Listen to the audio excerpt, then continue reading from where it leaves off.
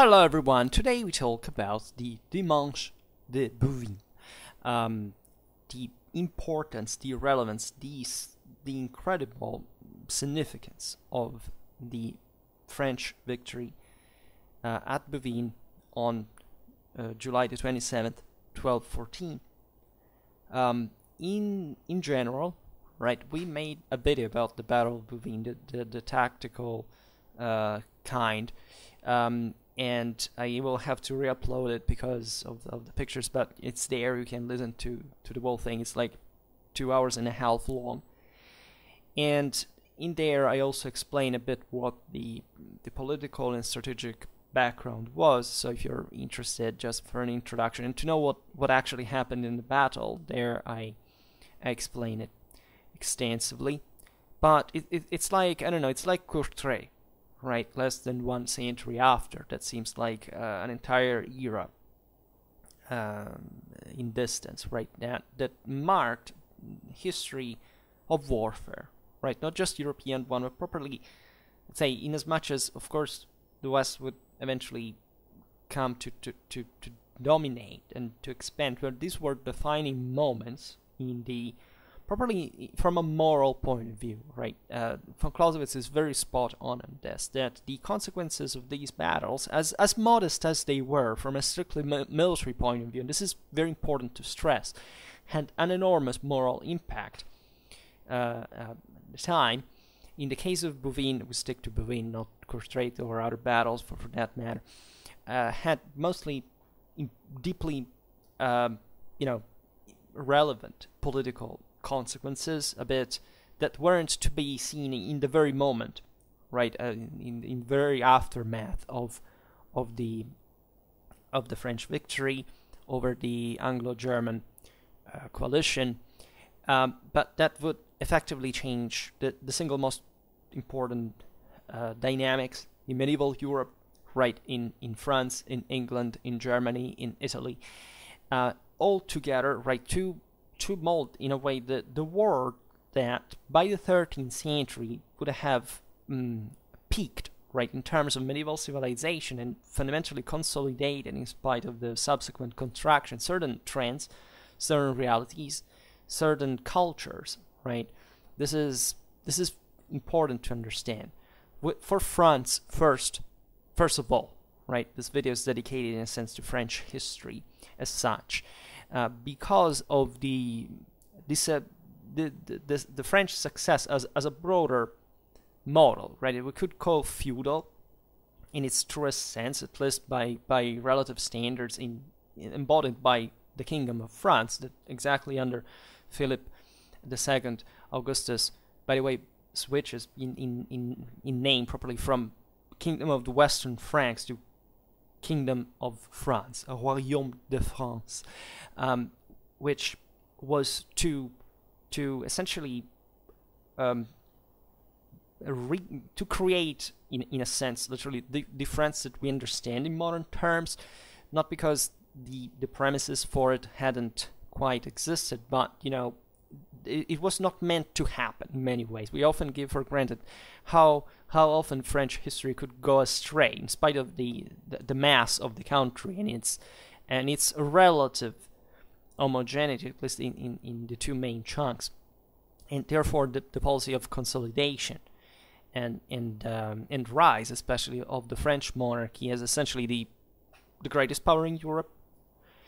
Um, and you know that French history has these ups and downs. It's like you know the, the Merovingians and then you know their decline, then the Carolingians and their decline, then the the Capetians that managed to merge the, the, central centers of the Middle Ages, and the Bouvines marks the, this definitive rise, and then the Hundred Years' War, and then the reconsolidation of France in, in the second half of the 15th century, and then its expansion with the wars of Italy, and then again its contraction with the uh, confessional clashes between the end of the uh, 16th and beginning of the 17th century.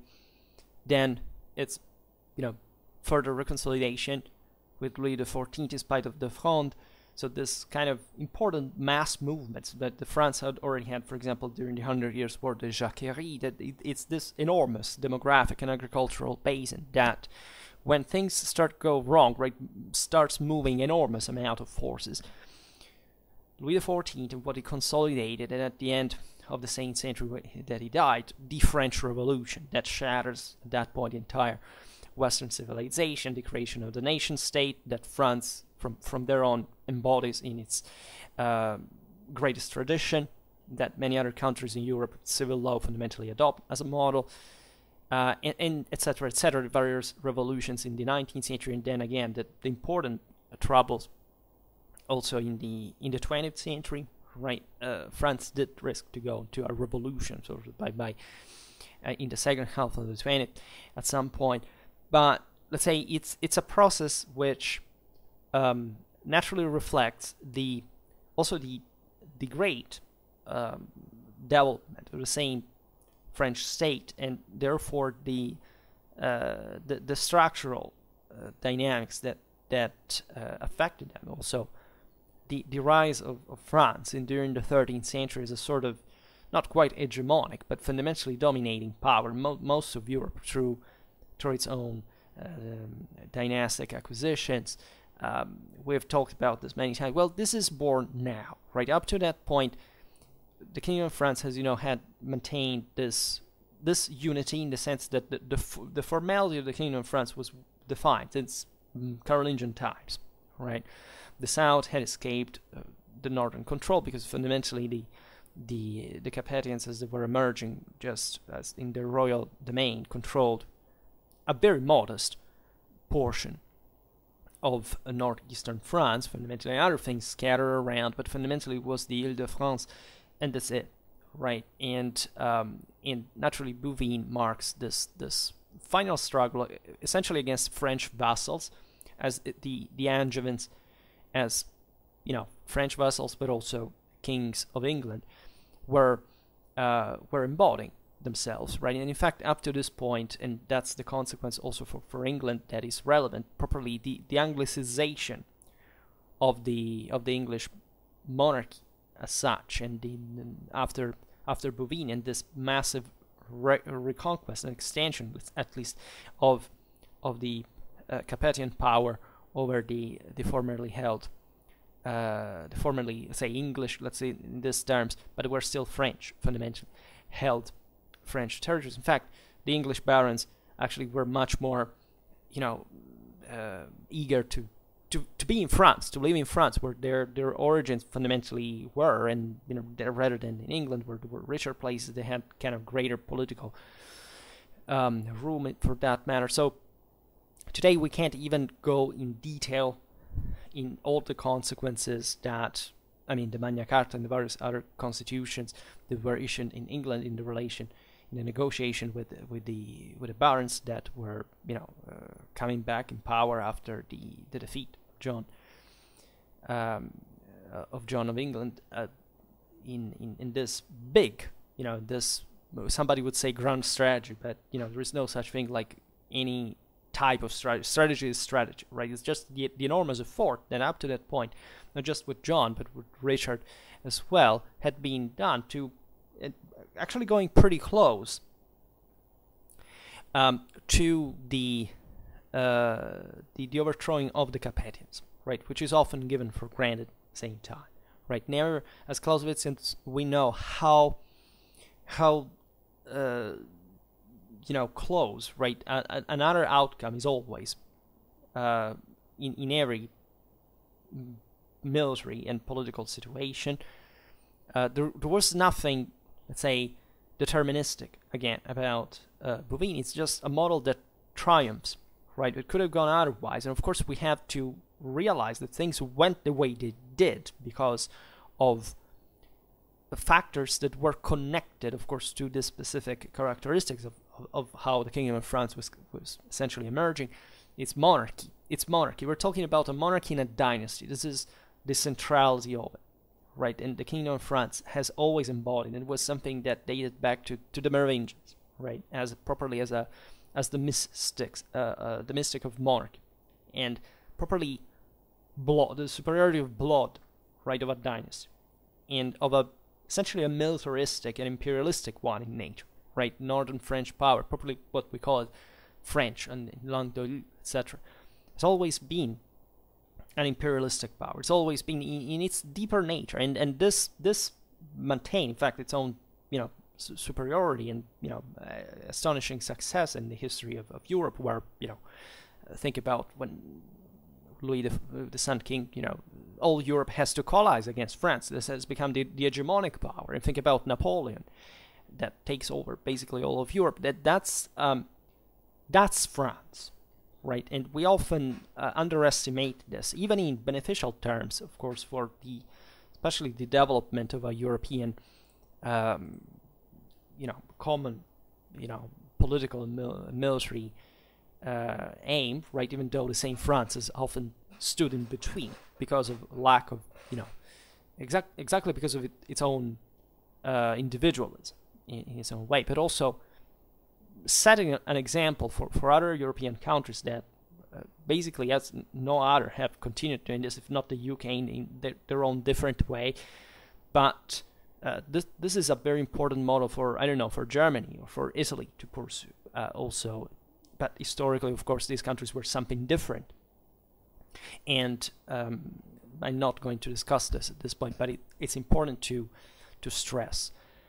Now, uh, I don't remember where I was coming from now with this thing, but in in general, right, we, we cannot mm, stress enough. We'll make other videos explaining eventually what happened after Bouvines in France, right, and to France, right, and and out and as a consequence outside France itself, right? Um, and but we have to to realize that the, the the broader background of this, and also what this battle, as a symbol, fundamentally stands for, right? Because there is being also a lot of fact of mythology, as we were saying, that the same French developed historically about revolving around this moment um, which is, in my opinion, deserved. In at least there are many, of course, historiographical nuisances, even just the interpretation of the battle, the symbology, the mythology there. Think about the the the paganizing black dragon surmounted by the imperial eagle, right, brought by Otto of of Brunswick on the battlefield. This this, of course, also very strong bond of the French monarchy and the French church which is actually a, a common national policy in, in medieval countries in general, but that in France had, even in there, a, a longer tra- tradition, a deeper meaning. Uh, in a way, as we will see, the Saint John of England had fundamentally lost in part the, the sympathies both not just of the lay, lay nobility of the barons, etc., but also of the clergy. Uh, and there are naturally also different opinions on you know, there's different sovereigns and so on. We will we never made a video about them specifically, but they're dram- dramatically interesting figures on, on their own. Uh, about what this battle meant from a strictly military point of view, right? The that we discussed on the video about the battle itself, so we will not digress too much on it in a way. But the the, the battle of Bouvines sets the essentially the the preeminence the the sanction, the, the this sanction, this formalization of, of the of feudal system preeminence and its heavy cavalry on the battlefields, which is also given for granted sometimes, as we think that somewhat cavalry always dominated in the Middle Ages. There was surely, um, you know, this is the. Uh, it's true from a cultural point of view, but it's not not always uh, and actually, most of the times, it's not true for, for, for most, in fact, of the Middle Ages on the battlefields, and up to very recent times, right? The, the mid 12th century is the moment in which heavy cavalry really starts being uncontested, right? In the also in the relatively conventional Western European dimension, but not only, in fact, because this was proven also in the Near East. Uh, from a strictly military point of view, this was true as again the, the the representation of a broader political and social system that in fact from France was expanding and booming right here the think about even things that were maybe experimented elsewhere like we think that Gothic architecture and art and style came actually rather from England rather than from France England was factually a French kingdom in everything up to this point right? Um, but it's France that, that develops it to, to the highest level. So the, the huge, immense, uh, magnificent, uh, you know, technologically masterpiece-like um, of engineering, of art, architecture, cathedrals, Gothic cathedrals that spread from there in countries never quite seen this thing before. I mean, by this time, Germany was still a wild, right, primitive country. If you see even still how the Romanesque gradually just integrates Gothic, it takes it takes time. literally takes the same strength those um, uh, peasants and you know and lords that you know began to clear the country to, to expand it further with you know sweat and tears. Uh, let's say um, the same Italy that was kind of more Byzantine influence in, in art, in, in culture, broadly speaking, also absorbed its own type of Gothic, but in different ways. The Iberian Peninsula is also influenced by France in this regard. The feudalism as such is there we've seen it many times. It was already present as a formula in the vassalic beneficiary one, at least let's say, in in all post-Carolingian countries.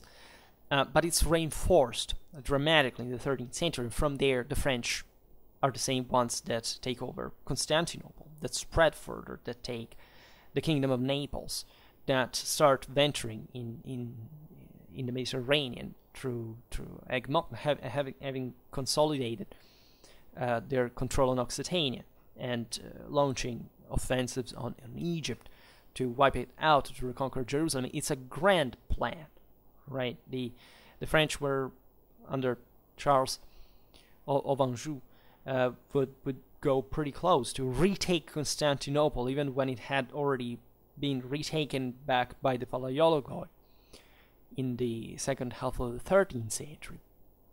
And it's also the 13th century, the, the, the great moment of the collapse of the empire, right? That, that is kind of embodied by by the struggle of uh, the, the same struggle that of the uh, Welfen and the Hohenstaufen in Germany, that the same battle of Bouvines settled, right, um, as uh, Otto of Brunswick, as you know, had risen after Philip of Swabia was opposing um, the the young would-be Frederick the, the second, right, and and that's all the consequence that will impact the kingdom of Germany, that will at that point was was undergoing, in fact, a severe, you know, re, re let's say, uh, uh, settlement, let's say, and, and, that was definitely not in favor of a centralized monarchy. That the Saint Frederick II basically gives up, right, essentially starting princely Germany per, per se, just using private means. But because Frederick also rules from Sicily, right, and if if uh, you know the, the, Battle of Bouvines had gone in another way, of course, things would have not changed really in the in the broader German interest to reconnect Germany and Italy, and frankly to preferably rule from Italy, as Otto of Brunswick had done himself, and that's the reason why he had been excommunicated, and you know, you know why the papacy had sided with Frederick II, and was already the French papal alliance in this sense was was going on and, and the same King of England, preferably oriented in favor of the Welfen because of many reasons, right? Not just familial ties, but also the, the important connection of you know northern Germany from an economical point of view with England, uh, the Rhineland, the, uh, the North Sea, etc. Had kind of importantly bet uh, against, right? You know the the the English in this sense um, in in a French alliance. Uh, Frederick II would have not um, the that pre-humanistic sap that the Sicilian courtly school that would you know express uh, you, you know it, it's um, you know it, it, this great feudal courtly culture right in a mix between the the Occitan the Sicilian the German one at the Saint Frederick II court and that would have spread in in in, in Tuscany in essentially seating you know humanism and the, the, the, enormous the dramatic literary tradition of of in, in, um, in you know of, of the Stil Novo, eventually Dante, and all the what eventually the Italian Renaissance would have exported from from there on for centuries uh, would have not quite existed the way we know, right? And this all was decided on the battlefield of Bouvines, right? There is a place where there's really not really much. It's like you know these great battlefields. When I think about as Azincourt, places where there's literally nothing. In that, in which then battles, in the case of Bouvines especially, not not a big battle, right? There weren't so many. You know, the, the armies were not so large. But the for the time, right, the, the shift that was achieved in that battlefield, the the defeat of Otto's German policy and the, the whole imperial dream, he would die afterwards. And eventually, as we've seen, the, the, major consequence in England with the Magna Carta and with the Anglicization of the monarchy and the a, complete redefinition of the political institutional basis on which English rulers now were cut off fundamentally from from France, in Portugal, from which they had drawn so so so many resources, would would change everything. As much as for France, that uh, at this point had really risked to be tackled, to be properly to to have seen a, a, completely different model of rule. Because if the Capetians had been taken out, as it, it, it was about to happen with Richard Lionheart, and in this same occasion, uh, in the Bouvines campaign, um, would have evolved in a still in a much more decentralized way, right? The centrifugal policy of the various vassals would have taken over. Uh, the English would have had a, a, much greater power and capacity of interference, and they would have surely seized the, the crown for themselves. So, albeit a, a dynastic succession slash substitution, probably the, the, the, history of France and England, in terms of properly ratio of strengths, would have been dramatically different. And the proof of this set of the, the this, the French success in this regard would be proven paradoxically in the same Hundred Years' War, because it doesn't matter how much and hard the French were defeated in the major engagements of the war. I mean, Crécy, uh, Poitiers, Azincourt were, were massive blows, right? If you know, it have they had been taken by any other monarch, it would have collapsed, right? The French, at the end of the day, managed to win the war and to consolidate the, the, the greatest, most functional, most, powerful state in Western Europe as a consequence, while England fundamentally would withdraw within itself and actually up to the mid 17th century not quite reachieve the you know the first uh, class status that had uh, up to that point enjoyed like you know a major a major European power in the uh, from the the Norman conquest onwards. So this is the set, the magnitude of, of consequences that that this battle produced. That, of course, at the time could not quite be be foreseen in, in the way we do now. Right, the main the main mythological problem that, however, actually highlights, when corrected, even more the the capacities of, of the French monarchy is that there was, in fact, still at uh, Philip Augustus' uh, time, not not really, in fact, a, a necessity or or a, a, for for the rise of France the way we know it, even even as properly the monarchy and the the state that was eventually developed to to keep together this enormous amount of territories, many of which also had their pre-Grest uh, traditions were quite different, especially south of the Loire, in the Languedoc um, from from the the French north, and that were eventually taken over uh, and controlled and consolidated, and never quite rising once again. You know that you know the connection of the of the same English with with with Normandy, with Maine, with Poitou, with um, Aquitaine, and so on. So th- those were lands that had up to that point enjoyed an autonomy. I'm not talking, of course, there were part of these were also north of the Loire, but that's again how actually narrow extensionally the royal French power had been up to that point. Um, and and so the the massive state French state building built very contingently, very without uh, you know. Uh, uh, and impossibly so for the coercive means of the times and the unpredictability of the system overall.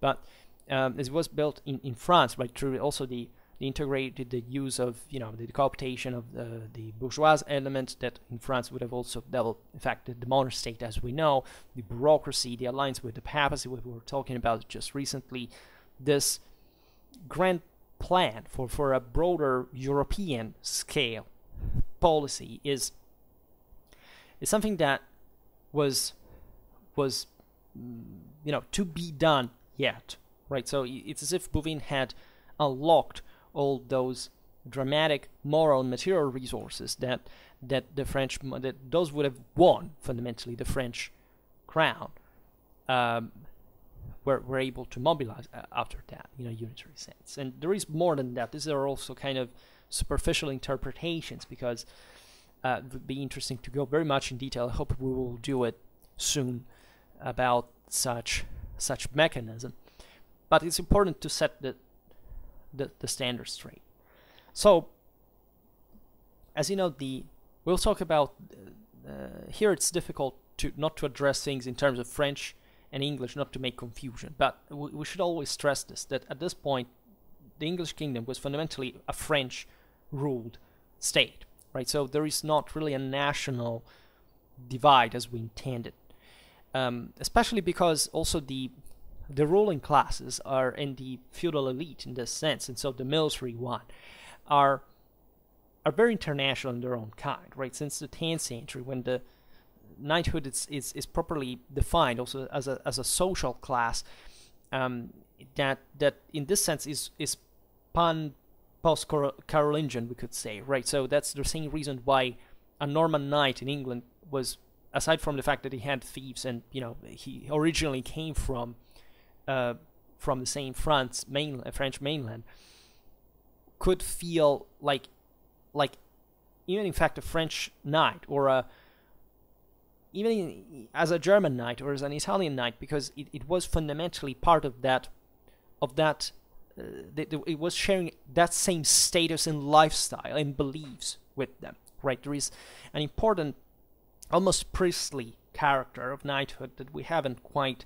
stressed sometimes that that in, exalted the religious and military superiority which the same also the same mm, uh, monastic military orders were essentially the, the perfect exemplification right? And with also a very strong pagan legacy but also you know universal legacy that was in fact shared both by paganism and Christianity, not in a consequential way, but just because that was how people believed such things in the world, and that ecclesiastical sources haven't quite explained the way a knight at this point, who was normally literate, would have done otherwise. But you know, um, this is the moment in which um, still the thing was fluidly, in fact, across the channel. Right? We often forget how how intense the trans-channel relations actually were, right? Historically, think about the the Celts, the Belgians, always crossing from from Britain to Gaul. But think about the same connections with between the Merovingians and the Anglo-Saxons. So let's be honest. Fundamentally, the Anglo-Saxons were at some point some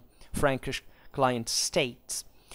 Um, the of course even there is an English mythology of this story too, and that's why also I'm making this prem this second part of the premise because um, it, it's easy and logical and understandable for from an English or British perspective anyway to, to see, say, especially the Kingdom of England as something properly different on its own.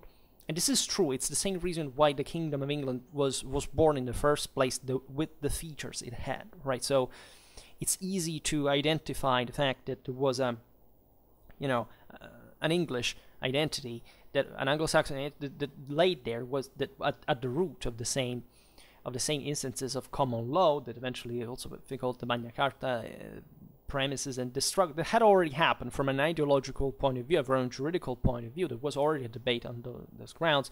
The Normans hadn't, and why would they have been erased completely Anglo-Saxon administrative tradition customs, which were actually very advanced uh, by the time of the conquest. Um, but this is the problem: is that we're talking about feudal Europe, right? By the, the time the Normans invaded the island and created, say, took over the, the kingdom of England, and and literally they had free hand right on, on everything. Like they, they, they literally remade this this thing in part from scratch, right? With in one of the single most radically violent, oppressive, and repressive and bloody chapters in the history of medieval Europe, right? The, the Norman conquest was uh, was something extremely brutal. The rebellions that followed after were, were cut down, in a with incredible violence, incredible violence, even for you know medieval standards. So there was a very harsh repression, and there was surely a divide between the French ruling elite and the Anglo-Saxon population at some point. But it's obvious that as always these things happen, eventually things go blend, right? And but this is the point that the elite was not elite much because it was French at that point, because by the time of, of the of the uh, English conquest, the Normans were purely, purely, purely Western Frankish. There was nothing different by any standard from from what what France would become. In fact, at, at this point in 1214, or ideally, uh, like right as a French thing. Um, but it was much the fact that they were a military class. They were a feudal elite. Right up to that point, Anglo-Saxon England had been essentially a, let's call it Anglo-Danish England, because that's what fundamentally it had. It was by the time of the of the Norman of the Norman conquest. Um, had different premises, right? The privatization, of course, had taken place also in, in the Anglo-Saxon kingdom that, as you know, was much more kind of, we could say, with all the anachronisms entailed, more democratic, right? The fear, the idea of the third was much more still, you know, the, the, the hairband before in a, let's say, freeman participative way. By the time of the Norman conquest, actually, the system had degenerated. It was already privatized the Danish, the, the Vikings, that also were doing the same thing in their own countries, were stro- strongly kind of privatiz- privatizing this the system, right, and also towards a more strictly monarchic and kind of quasi-feudal direction, right. But none none of this was at, at the same level of Western France, where the thing was pioneered and and it's the same reason even in there if you want to see it uh, you know deterministically which was not. But that's why the normans wanted hastings in in a way. And things could go definitely differently in that way because also the anglo-saxon system after all the anglo-danish one I say what was a functional one. It had already received important influence from actually from france itself. But it's in this moment that you know decut happens, right? And the England that we know, in a sense, from a from a political, institutional, juridical, especially point of view, really comes to be right much more familiar, much more defined, much more recognized. Because you see, during the the central decades of the 12th century, uh, struggles matter, right? War hybridizes dramatically. The, the King of France, Louis VII, had already started working very hard to the consolidation of the power of the Capetian monarchy. Right? We will talk about this another time. And um, his son, Philip II Augustus, so you know the the the, uh, the winner at Bouvines, 1180, 1223, um, continued right uh, the work. And organizing the uh, the chancery, the court. So giving a further impulse both to the administr- the crown administrative reorganization and the relation between the crown and the mercantile classes, importantly enough, because also France had a relevant urbanization at this point, also in the north. It's often underestimated in a sense as well.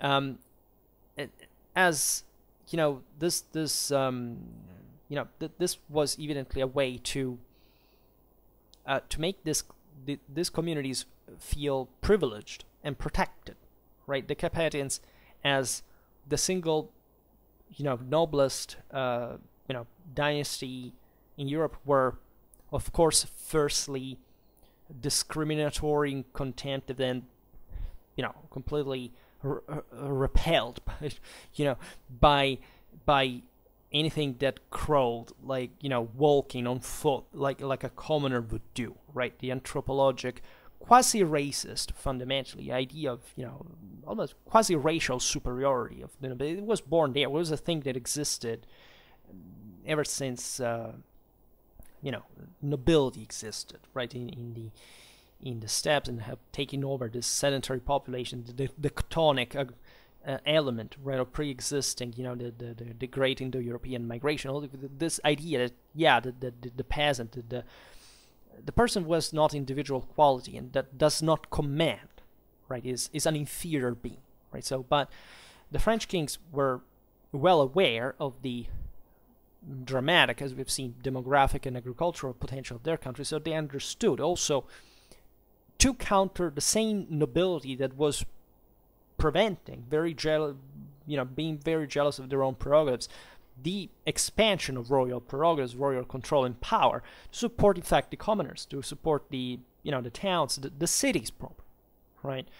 Um, that uh, in northeast France were also importantly connected with Flanders, with the Champagne fairs that were booming at the time, the, the, the income that this meant. So it was also important from a military point of view.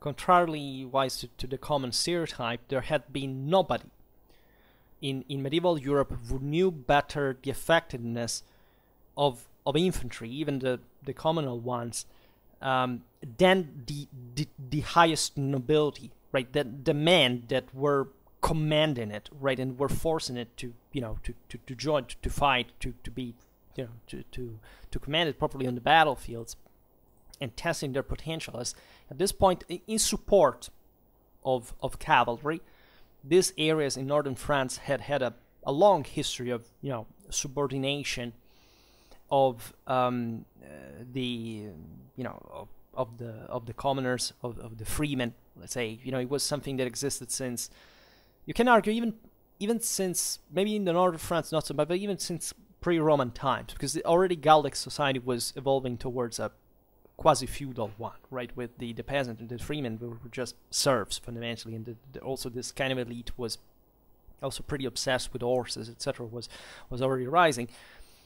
The Romans with their latifundia increased dramatically. I think in the Gallo-Roman society was already like that at the time of the Frankish invasion.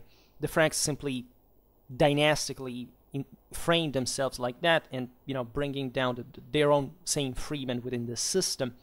So you can argue that these were regions where uh, there was probably even a tradition of, you know, of of of um, of mm, of the commoners' inferiority in a much different way than you could find, I don't know, in, in other fringe areas of Europe, where still there was kind of even, maybe at this time, in a very few areas, like a, still a tribal mentality, but still, I don't know, Germany was different. Germany still had this kind of an idea that feudalism was spreading dramatically in there, especially at this point since Frederick Barbarossa's times, etc. But still, the idea of the we were talking about it recently of the of the community of the that was kind of living autonomously and still armed and dangerous, right? And still, by this point, in fact, as we will see, we will see at the same Battle of Bouvines with the Flemish uh, infantry that, you know, was was they fought to the death, right? So prefiguring what would, would happen dramatically also against the same French at, at, at the aforementioned Courtrai, which was something the, the same infantries, the same commoners, this this communal realities were becoming richer and sometimes you know were escaping the feudal uh, the feudal control in more peripheral. We're becoming more powerful. We're becoming more you know capable properly of fielding moral and material strength on the battlefields think about the Italian city-states, think about um, so, but the same, you know, the, the the same France maybe couldn't offer. It was not the best country in that regard because it's the, the one in which, in fact, cavalry was at the top, right? But don't underestimate the importance of infantry, independently on, from from the from what the sources tell us, because some of the the greatest uh, battles fought um, the Battle of Bouvines, in fact, itself, infantry does play a role exactly in the French center, sheltering the initial German uh, charge uh, right in you know the Saint Philip was behind their infantry. So there is there is an important political relevance of this, which is not to be given for granted either. Right, it was also a political project. Right, but many other battles in in the 13th century, including some where same French cavalry, mm, you know, appeared importantly, such as uh, Benevent or Tagliacozzo, or but in other countries as well, such as Marchfeld. Uh, we know infantry was there, but the battle accounts do not even talk about them, right? And surely they weren't there for no reason, and yes, they were a fighting force. Um, and and it was necessary for the Kingdom of France to expand also in this in these places, in these cities. Uh, the French bishops were also very powerful, so backing the commoners in their cities was a way also to establish to, to curb partly their power, and extending royal power. The typical means that were used, even though again the Saint Capetians would have, you know, they thought that that, that commoners were fundamentally subhuman beings. And so for Philip II was priority to resolve, however, first of all, aside from this, let's call them domestic problems, opposed to these ones that are still domestic but you know still connected to the international situation, to solve the problem constituted by the objective fact that the King of England, so Duke of Normandy from the, the 9th century, Count of Anjou, and of Maine um, because he belonged to the um, to the Plantagenets, right? The the the fief uh, holders of those lands, and also Duke of Aquitaine and Gascony, uh, and even Count of Poitou, uh, as heir of Eleanor of Aquitaine, that had brought that in dowry after having actually been married with the same um, Louis VII, and as you know, eventually marrying with Henry II, and you know, went to their children as Richard and John, also Arthur initially, that uh, were, you know, in that sense embodying even even biologically, even uh, let's say genetically, the continuity of those mm, uh, southern Western French uh, traditions that were opposed to the central the, the, French centralization in France, right? Even as as it were English, uh, at least kings. Um, they, the, well, the, the King of England was effective lord of great part of the French territory, much larger than the King of France is one. Also because it was extensionally larger than you know, it was the majority of France, right? Covered the majority of France and to the King of England looked uh, looked up, say, all those um, looked up to all those aristocrats that, in a way or another, intended to carry out an autonomous policy uh, from from their French king. So it was a deep. That, that's why I stress the the the political and moral impact of, of this victory because again and, and that's why I stress the fact that the odds were very balanced if not actually shifted in favor of the same Plantagenets. So in in England the king of Henry II had posed an end to the troubles to the revolts you know he, as you know he was a great king uh, that, however, resumed, as it often happens when you know these great willing figures, etc., disappear at the, his death in 1189. And the situation went deteriorating further with his uh, sons and successors. Um, you know, Richard, Richard Lionheart, 1189, 1199, and John known as, you know, the two Lionheart and Lackland, respectively. Uh, but they were quite, you know, that that's not how perhaps they would have liked to, to pass you know, to, to history. I'd say John 11, 99, 12, 60. Um, these were, I personally admire John. I thought he was actually a good king, that he managed actually to maintain his own power even after this massive set of failures that I will see that were in a sense all his fault definitely but not again in the main you know just because you fail it's you know because you're an idiot right you you're not more intelligent or more capable than an English king of the 12th 13th century I can assure um, Richard, as you know, had quite of a, you know, as far as I know, there is a joke in England for saying that Richard was the most loved of all English kings because he was the one that stayed the least in England. as you know, 1189 is not just a random date, uh, as that's one of the, the Third Crusade, you know, uh, Richard exploit in, in the Holy Land and so on, and the, the, the, great problems actually that eventually he was kidnapped by in Austria and it was used like a credit card for to be passed from monarchy to, to, to monarchy, while his mother was, you know, as the, the energetic and strong woman she was, which was, you know, doing, working like like hell in order to, to, to get her, her son back. So the the same brothers had actually re- repeatedly rebelled to Henry uh, during his own reign, right? Because it, this was just, um, I would say, normal for the time in a sense, given the still the, doesn't matter how unitary and the, the Kingdom of England in many ways already was, but of course the baronial struggles, the you know the the, the, the instability that is typical feudal monarchies at this point in history, well, would bring to to these uh, individuals to ride waves of rebellions of political. And and they they also didn't quite like each other. I mean at least they they they had, they had been opposed.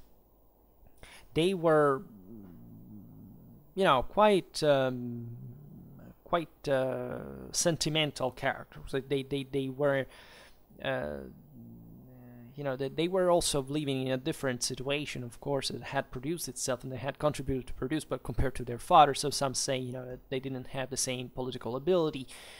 In any case, this is not important now, we'll see it on another occasion. Um, Richard had, you know, what was remembered in a sense for his nickname, for this fanatic bravery that was also criticized at the time by the same Saladin, for example. Um, he was a, you know, cruel military leader, and some, you know, criticize his capacity. I believe he actually had a was capable and competent. What, what we try, what we, what's difficult to understand for us is what that lifestyle entailed, and what what is that, you know, still the individual played uh, in in the role of leader of men. Um, as as a single knight, as an individual knight, right? The individualism of Frankish warfare was still there, was still connaturated to the, the the same impulsivity and bravery, and but you know, understanding uh, when to charge at, at the Battle of Arsuf and where to launch it, and having you know, if you don't have cold blood and intelligence and charisma, you you can't really don't go anywhere, right? Richard had participated to the Third Crusade in 1189, 1192 and after this he had found himself king for for his father that was hadn't you know was still alive when he left but also he had had to to to tame a feudal revolt at the end of which John had posed himself. Um, and however John succeeded. His brother who died famously you know in a, in a quite tri- trivial way, you know, in, during a siege, actually playing with a with a with a boy that was on the castle was throwing you know bolts at him, and he was just you know showing off, try to, to you know to parry that, and then eventually he got wounded, and he that went. It was not even particularly bad thing, but he hit it for a time. It, it went in septicemia. And as you know, most of those times, you know, chances that there was no way to to cope with that. He died, his mother reached him on his deathbed, and so on. The, the boy was quartered, alleged, but but it was just, um, you know, objectively a kind of a bad way to, to, to die. It was pretty common. That that shows exemplifies actually what what why also these knights were all obsessed by pitched battles and why they would prefer to, to kill to go kill themselves there because most of the, the the most likely way to die was just to die in your own diarrhea in, in a ditch somewhere just while you were rotting from the within right? So being transpassed by a lance in the you know in the heat of a battle where everybody all the great nobility uh, of the time was present was a much better way. Um which and there was john john resumed um, in a sense his his father his brother's policy in a grand scale against France, right? And this was was a sensible thing to do. Some say he was reckless because he basically made such a great effort to to go against basically every element in the kingdom. That is the lay nobility, the ecclesiastical ecclesiastical hierarchies, and in fact he arrived up to the point of um, confiscating ecclesiastical property up to the point of being excommunicated by Pope Innocent III. And let's remember that the papacy at this point in history was the, the strongest uh, ever. Uh, Innocent III embodied that point the fact basically every single uh, country in Europe was formally a vassal of Rome, and in this case, uh, as we'll see, the same John, after Bouvines reconciled with the papacy, he was he accepted vassalage. In this sense, he was being a bit rebellious, but that that was in a sense also a price to pay in order to pursue his French policy. Right, he needed money more than else. The English had already understood in this sense the importance of mercenaries. The same Philip II eventually, you know, how things went on after. There was the Albigensian Crusade.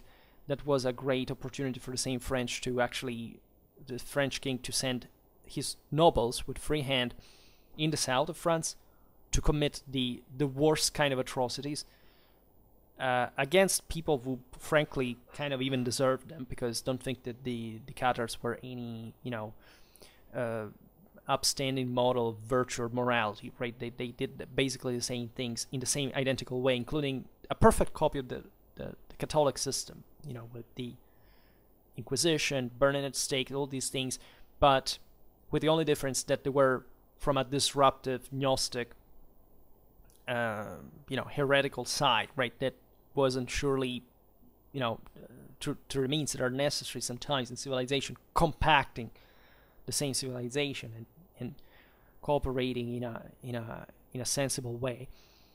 While the same French king in the north would would use mercenaries to to fight against the uh, the the remains of the English because you know after the, the, the defeat of Bouvines, most of of the uh, Plantagenet control on their territories collapsed, but still not quite evaporate, so that uh, there were sieges, important operations to carry out.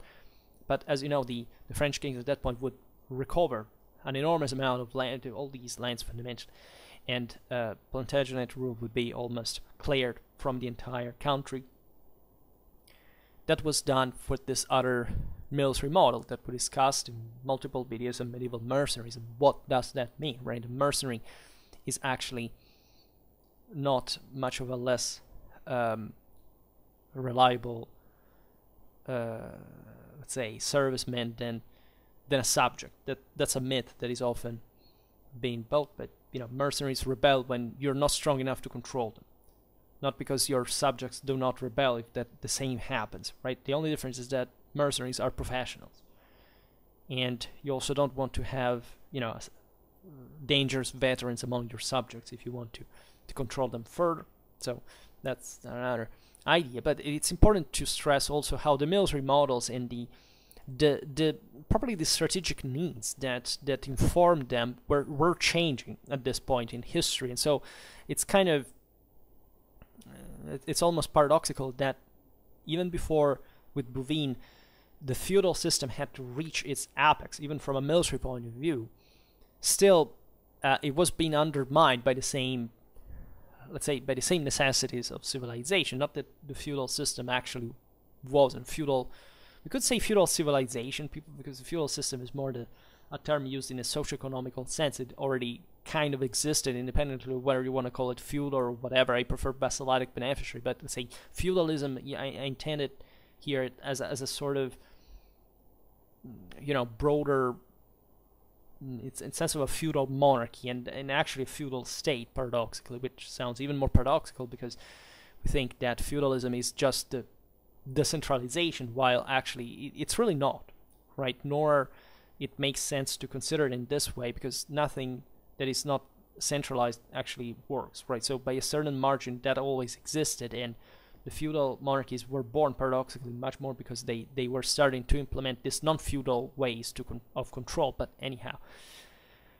um, so these troubles, the excommunication of, of John, etc., brought Philip Augustus to exploit the situation, uh, and um, given that the, English sovereign was facing this trouble, in 1202 he declared him guilty of felony, right, which is in this case the crime of which the uh, you know the the infidel vassal, right, uh, stained himself, and so of course John was not just king of England but vassal of the French king in, in, in, the, in his French possessions. So that Philip uh, stripped him formally, at least, of all his French fiefs, except Aquitaine, by the way. Now, initially, John didn't back down, right? Um, however, with the capitulation of Rouen after an important campaign in 1204, he ended up to accept to decay from whichever feudal right on French territory north of the Loire. So it's actually obvious that in practice John had actually no intention to abandon those rich lands. The um, just a strategic situation and and, politics, uh, you know, on, on, the field in politics at home and internationally had brought to to to give up that point at one. Um, these were, as we were saying, also rich, fat lands, right? You know, the northern France is a very bloody kind of, you know, fat, rich, you know, soil, fertile with the Atlantic current, the the great rivers, uh, etc. And it's the same reason a bit why the Ile-de-France was so productive and also maintained, you know, backed, supported the, the Capetian expansion in many ways. It's the same, even the clay that you know through which you know some construct, even the Gothic cathedrals, for example, could, could exist only because of specific stones that existed all in those areas. Um, so the material wealth here is, is really remarkable, and uh, you can imagine also the all the, the strategic advantages of controlling those lands in northern France, being close to the Capetians, also, but accessing, you know, the, the southern French territories uh, you know, on the west bank of the Loire and, and facilitating all the, the communications and so on. Also, in a few years, John intervened in the civil war that had broken out again in Germany for the imperial crown between the heirs of the House of Swabia and the successors of Henry the Lion, with whom he, you know, his family was married into, famously enough, the, the um, and for all the the broader you know interests that the English had in mostly northern Germany that was in fact at that point most Saxony where the house of, of and the you know the trade with the Hanseatic cities that the control of the Rhine uh, traffics uh, while Swabia was more of a continental right alpine area more you know more you know, from from the side of Italy, by the way. So a, a weakening of the Saxons would have would have brought to, to, to a weakening of, of the English in uh, as a consequence, and supported France, that in fact, not surprisingly, was allied with the Hohenstaufen at this point. That were getting the worst of it because Otto IV was was elected. I made a video on on this on the rise of Otto of Brunswick after the assassination of Philip of Swabia for, for unrelated reasons, by the way, but still, right? So this is the the background a bit in which the battle is framed, right? The the this was an important, you see, uh, a resolutive battle, could say. You know, the size of I, I don't like much the term the size decisive in Clausewitzian terms because there is nothing fundamentally decisive, uh, if not the last of things, which never is quite the last, right? But but this was, you know, uh, definitely uh, as we've seen, uh, an incredibly important clash for its outcome and consequences, the the, the sheer magnitude of, of, the same and all the, the various repercussions all over the continent, which was fought on the Sunday of July the 27th, 1214 at Bouvines this locality north of France, not not much far from Lille. And um, in the in that video about the Battle of Bouvines, I, I told a lot of, of anecdotes like uh, that. Of course, as I was saying at the beginning, you know, one must understand them a, from a literary point of view.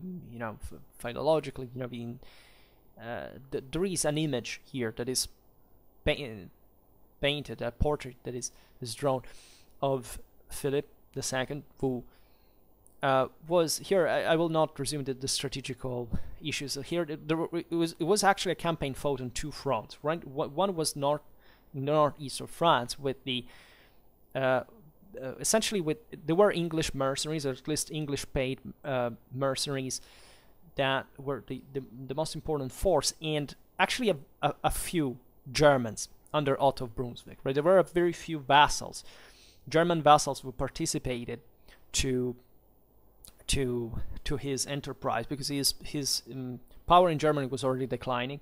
He had already, you know, that Otto had campaigned in Sicily, had already resumed, he had been uh, excommunicated again, had resumed this Mediterranean policy that was the same one of the Hohenstaufen that every sensible German emperor would have done, but he had actually been backed by the, the side that hoped for more of a kind of continental policy uh, and or however not the, the, the rising power that you know that he would experience.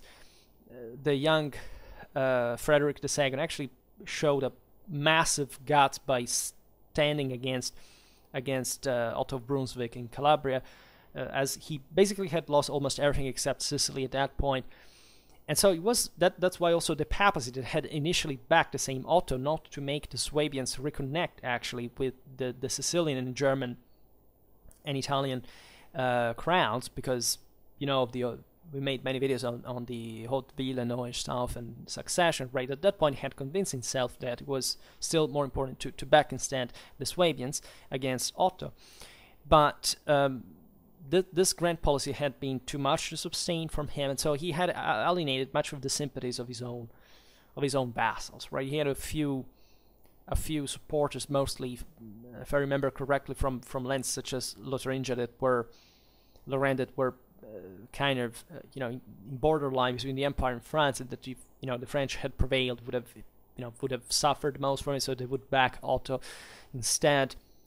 Uh, but there were a few Germans, and that that in the battle, and that gives a, a dimension of already of the failure of, of of of Otto that passes naturally as one of the great defeated in history, but uh, probably also was not easy, you know, not in an easy position for sure.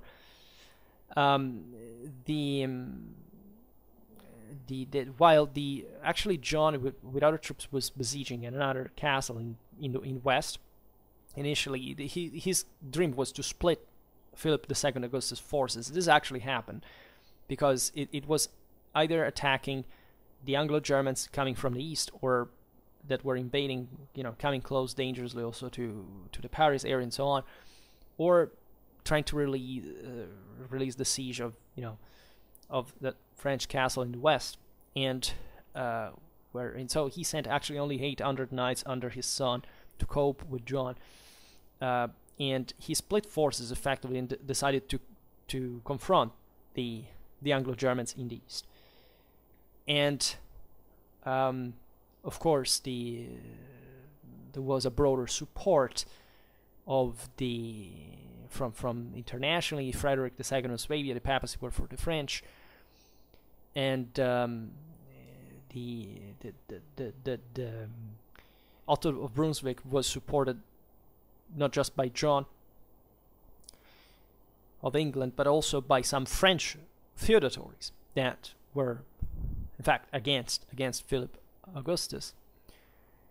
And the battle has now we, we don't we won't go in detail. It was fought actually on a single line, split in three sections, and on each sector fundamentally uh, there was um, you know the, the French essentially won on the right and then kind of overwhelmed the the the center where Otto was. And on the on the left, we don't know exactly what happened, but you know there were also the Flemish who fought to the death, but you know they were overwhelmed there too. The, the main the main tactical meaning of this battle is to be seen in certain um, fi- military finesse that, that is displayed by the French, and especially under the command of the Hospitalier Knight, a Crusader veteran that is Guérin de Senlis, who, uh, you know, the chronicles say, you know, Philip II as a king was in charge. He also performed actually he mass on Sunday himself. So th- there is this kind of ideal, mm, mm, you know, superiority of, of, of, of holiness of the, of the same monarchic office that is equated to, to one of the clergy. In alliance with the clergy, the, the French were, were very stern, right? They were very harsh. They were, this was exemplified by Louis the Seventh, right? And was very, you know, this has gloomy, heavy, military, martial, but also spiritual way as opposed to Eleanor of Aquitaine, you know, came from the south of France, where all you know courtly love, dances, uh, you know, even promiscuity in that sense. So there are different models here, culturally speaking, that are counterposed.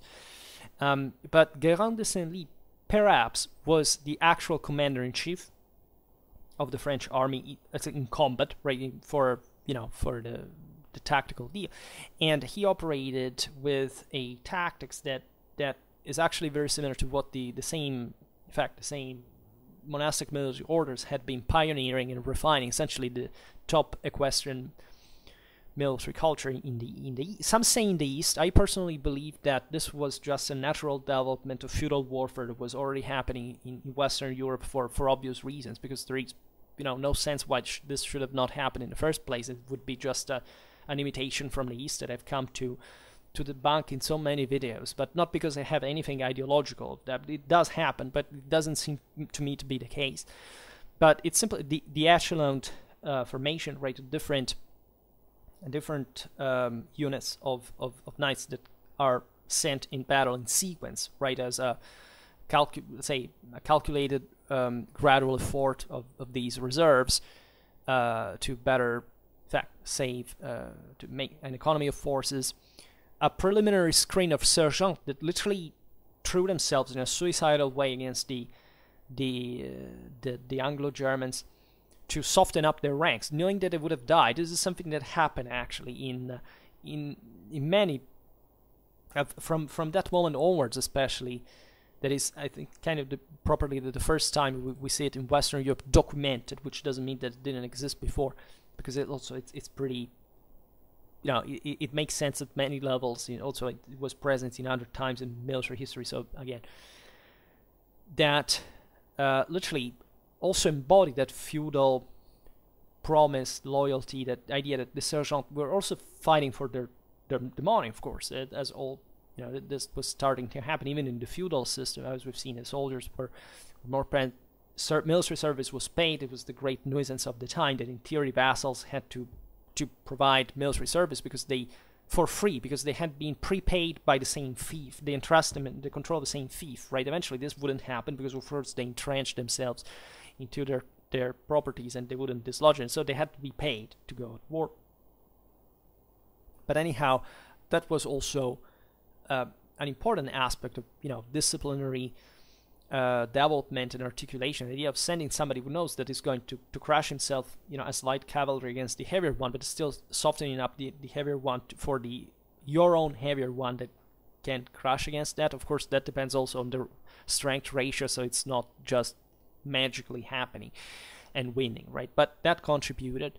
There's also a, a flank attack during the battle, which which happened but it does also require some kind of we don't know whether surprise or not i remember in the battle video we, we talked about this but still importantly in the sense that that's a tactics that was spreading would become kind of very common if not almost default in, in, in 13th century warfare and never abandoning that even here to say yeah no this came this comes from the east because the turks made these things but you know a flank attack you, does you know do you need to fight against somebody who use flank attack to understand that you can't flank attack right it doesn't make any sense right Did, anybody would have conceived that right it's just that we see it being done for the first time and this is important because it mostly tells that there is a tactical refinement that that corresponds to a greater central uh, authority and capacity of collective training and, and of control on the battlefield, right? That, you know, first there were this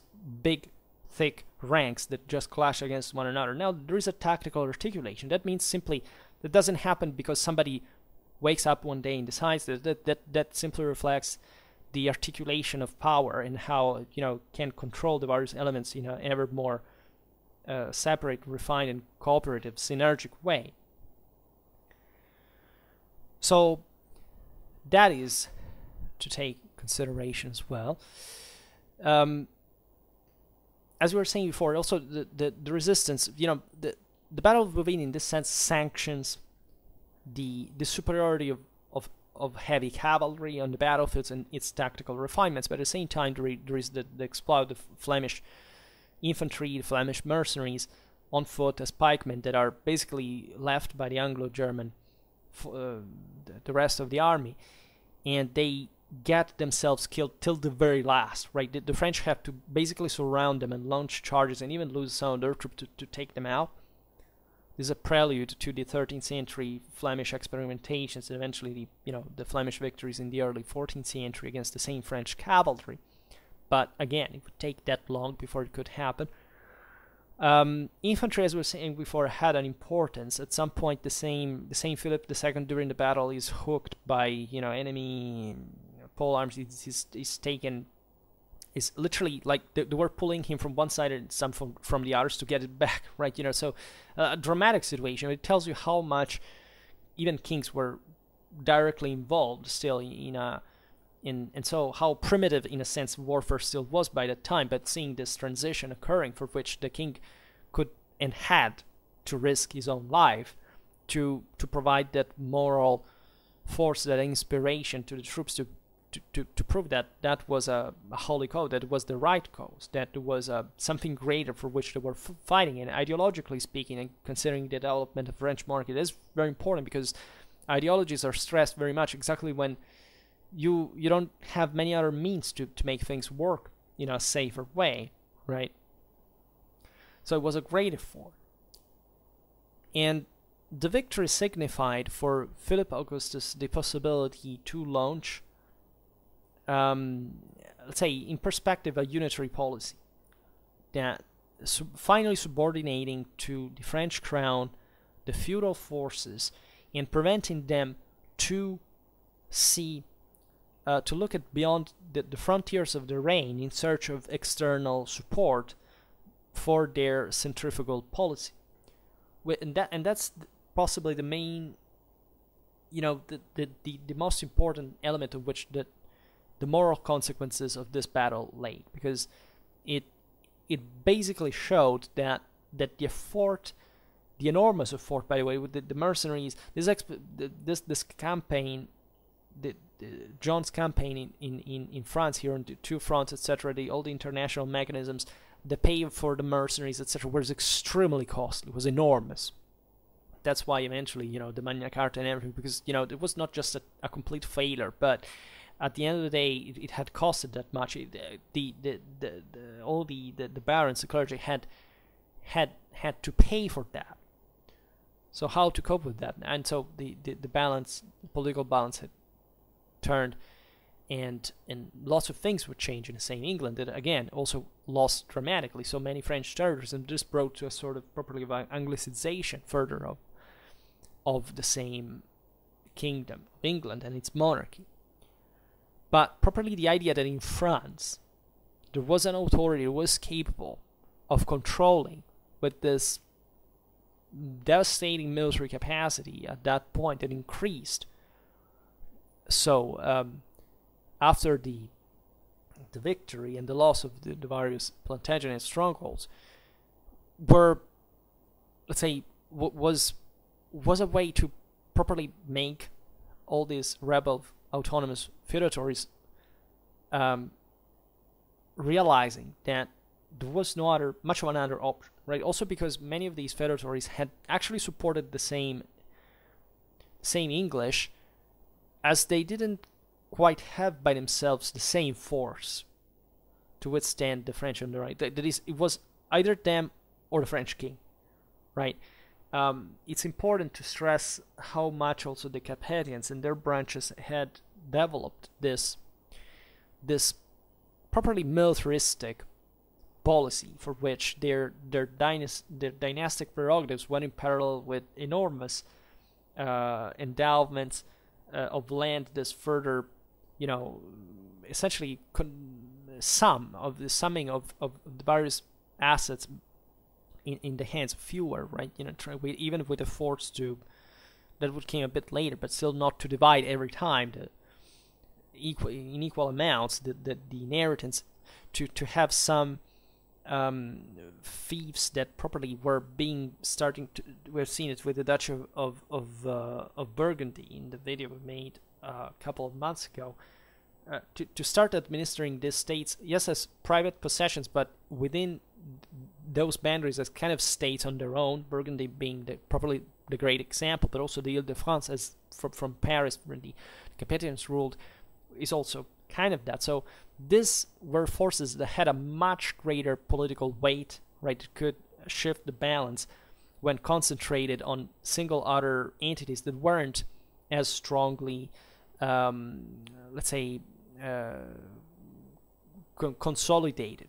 Right. This this is important to stress. That also had it had been difficult to dislodge the the Plantagenets in a sense because they the, the title would be maintained. The Anjou were passing to to be uh, eventually the same, same branch of the Cap, Capetians, right? In in terms of who you know whom got the the the fief in the end, but um, because those were had a greater power. But if you look especially at the south of France, feudalism wasn't as developed as in the north.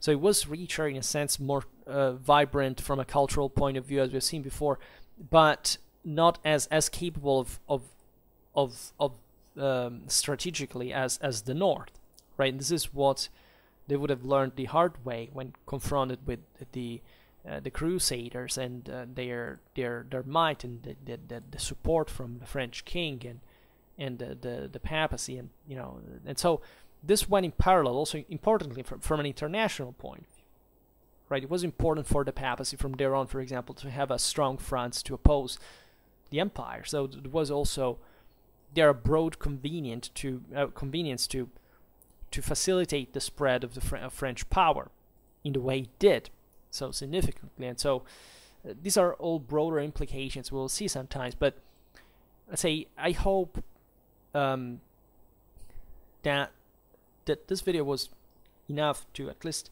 explain the how eventually the ideology, the mystic of monarchy, and the uh, eventually the, the success of the same French state occurred in the 13th century because of the concrete proof that this system had worked. It had worked on the field, and Bouvines had proven that. It had worked on the right on the level properly of the um, of the of, of wanting to go out and risking it. Again, the uh, a defeated Bouvines would have had enormous consequences um, for the French in the same way, right? The the Capetians would have lost their crown. There, there's like, do you understand the, the, the, magnitude of the consequence in European history overall? Um, it would have been a completely different situation, and who knows what we would have seen. But it's it's still, um, you know, having split forces, having decided to meet the enemy on the battlefield, and having done, even with those sudden movements before the battle, where the, the French were crossing already a river, and then they, they came back, they decided in a few minutes almost to to to to turn and, and fight again. That this are all um, deep that they the, the way they managed the thing and the battle and all these things reveal how much used to command the strategic thinking and and and uh, properly u- unity of command the the French system already was right? So that's what it, it, it made it made it win right? The, the loyal French vassals were at that point the, the top cavalry in the war. Not that the English were, were less actually in, in, in that sense as we've seen they were the same thing but the French had were the ones that had created the thing back in the day were were that model had been framed from an earlier time within the idea of a dynastic monarchy, right? And, and in this sense, the Kingdom of England didn't quite have the same idea of it. Because the Kingdom of England had been created, yes, as a private possession, supported by the papacy, like in a crusade. Um, and yes, it had been, uh, you know, as we've seen, England had been Normanized, but not quite in the way that um, exactly in order to escape the decentralization of feudalism that had made the Capetians struggle against the same Plantagenet um, in this case. Uh, the Normans originally had decided, like in Sicily, to given that nor England nor nor Sicily were were feudal uh, lands because they the Anglo-Saxons and the Arabs didn't have that, right? They could build a, a more equilibrated feudal uh, monarchy, right, with much more participation of some other elements of uh, let's say, uh, of the community that would check the, the individual baronial power. In France, it was it was it was not possible to do that because uh, the the kingdom had literally been born out of that same privatization and the entrenchments of no- nobles there. These nobles were exactly because of that entrenchment more um, more used to understand perhaps the the benefits of a that a larger command, when possible, right? Because for, otherwise they were very jealous of their own prerogatives and their own seigneury within their own fiefs. But such a huge opportunity like the one of, you know, that opened after Bouvines for themselves, because they were co-opted still by the monarchy, because the, the, the nobility was always there, to exploit such situations was from properly from a strategic culture, from a strategic perspective, from the idea that um, charging on a battlefield against the enemy at 45 kilometers per hour, crashing against somebody else who's coming at the same speed against you, is is what at the end of the day the entire life revolves around, right? And therefore that's their function. that's a chance that they cannot miss for for expand for being rewarded eventually, right?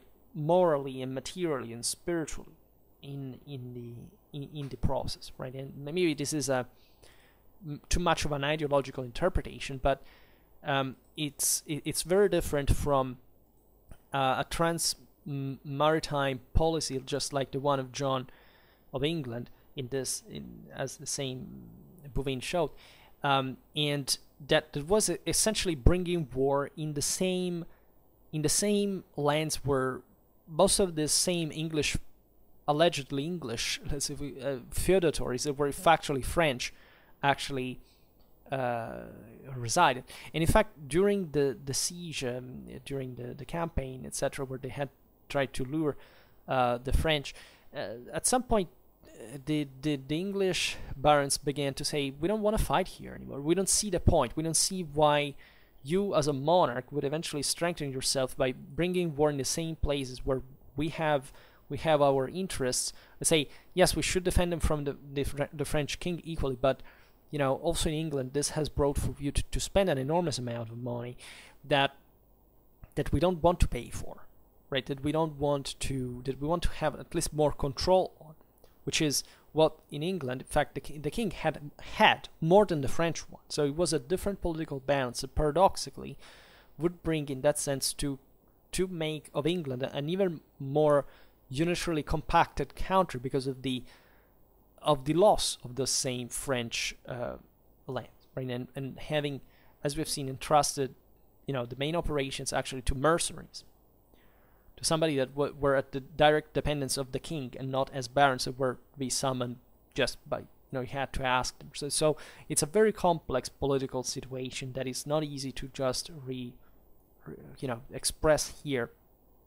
So, so simply, but um, that that shows from from the Plantagenet side the let's say if you want the inconvenience of having to cope with two countries at a time right and for for the kings of France this, this was uh, albeit the, the, in spite of the difficulty to expand and to you know to try to, to make their way through this uh, woods of you know of, of feudatories would oppose themselves were more convincing in an imperialistic sense, in a, in a, in a sense that you know we're saying to these territories, you can't just he would just uh, release them in the south of France, say, you know, that way is open, go there, grab what you want, right? So that is also the, the opportunities that this kingdom had, the, the progressed um, monarchic and, and sacred nature of this country from even the imperial legacy that had been of the Carolingians. That it doesn't matter if the Holy Roman Empire was the actual empire in a way, but the French were reasoning still culturally in a very similar way,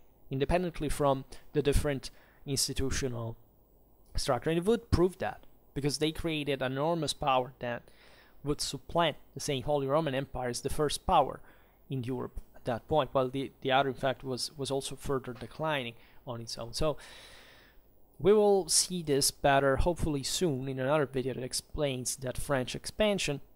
For now, however, we stop it here. I just hope that you enjoyed this video. If you did, please share it. Otherwise, leave a like or subscribe to my channel if you're interested in my upcoming content. And for now, I thank you heartily for listening to me. I wish you a nice time and see you next time. Bye.